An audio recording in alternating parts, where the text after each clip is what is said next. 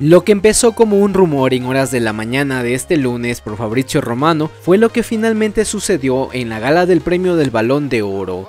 Contra todo pronóstico, el jugador del Manchester City, Rodri Hernández, se llevó el Balón de Oro de la temporada 2023-2024. Cuando todo parecía que la fiesta era para Vinicius Jr., al final ocurrió lo inesperado. Todo empezaba con la noticia de Fabrizio Romano asegurando que el Real Madrid se enteraba que Vinicius no era el ganador y que cancelaban el viaje a París. Absolutamente nadie del Madrid apareció en la gala en señal de protesta de la elección de France Football y de la UEFA. Recordemos que este año la UEFA se unió a France Football para la premiación y aquí estaría el detalle. La UEFA no tiene las mejores de las relaciones con el Real Madrid. Esto viene desde hace tiempo atrás y han dado un giro inesperado. Todos esperaban el balón de oro para Vinicius, el jugador del club, y su marca deportiva que lo viste tenían toda una fiesta preparada para el festejo, pero todo se tuvo que cancelar. Uno de los asistentes a la gala fue muy claro y contundente. Clarence Seedorf, exfutbolista, dijo claro que entre la UEFA y el Madrid hay temas sin resolverse y dejó caer que si Vinicius no era balón de oro era por esa situación. Dorf, é, chama muito atenção hoje. O Brasil tinha uma grande expectativa para ver aqui o Vinícius Júnior. O Real Madrid toma a decisão de não vir. Para ti, ele merecia talvez ficar com esse prêmio, que parece que não vindo não vai ficar com ele. É, eu já dei o meu voto já quase um ano atrás, né? Eu acho que o Vini merece esse prêmio. É, parece que tem essa coisa entre Madrid e UEFA que parece que não está resolvendo. É uma pena, porque eu, que, eu acho que as coisas têm que ser separadas, né? especialmente um, para um jogador, um momento especial. Mas vamos ver, vamos ver como cómo las cosas van a ficar. Además de la declaración de Seedorf, la camiseta de Vinicius también se hizo presente. El famoso TikToker brasileño Receba tuvo las agallas de llevar la camiseta de Vinicius y posar en la alfombra, tremendo y contundente mensaje de su compatriota. Las personas que estaban al ingreso del lugar también se hacían escuchar, nombrando a Vinicius Jr. como el balón de oro.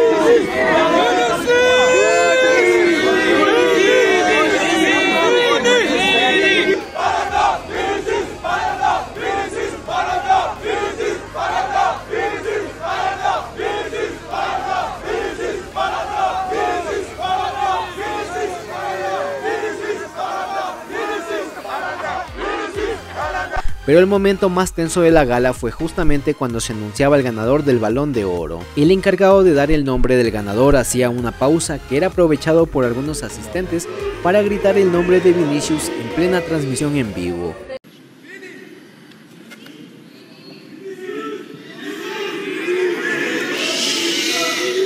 Suspense everyone.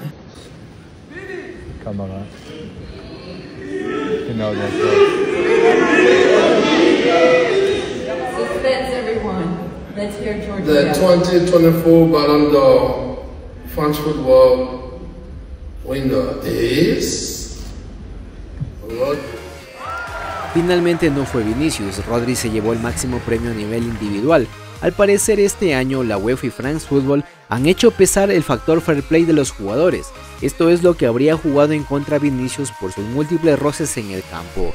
Ya no solo tiene que ver los goles y asistencias o las copas que se gane, también tiene que ver el fair play dentro del campo, o esa es la justificación que se le está buscando para entender esta decisión. Rodri por su parte brindó un emotivo mensaje donde recordó a leyendas del fútbol español como Xavi e Iniesta que en su momento pudieron haber ganado el balón de oro.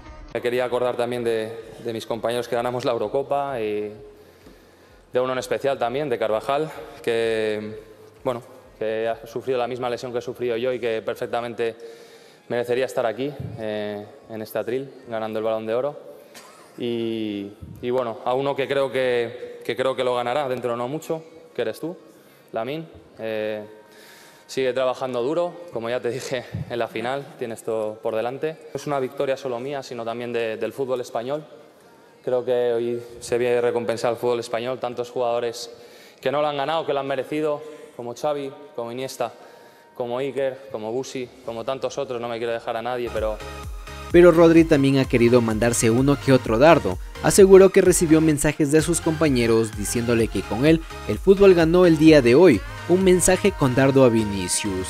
Muchos amigos me han escrito, me han dicho que el fútbol ha ganado. Eh, al final doy un poco de visibilidad a todos esos mediocentros tan importantes que ha habido a lo largo de todos los años.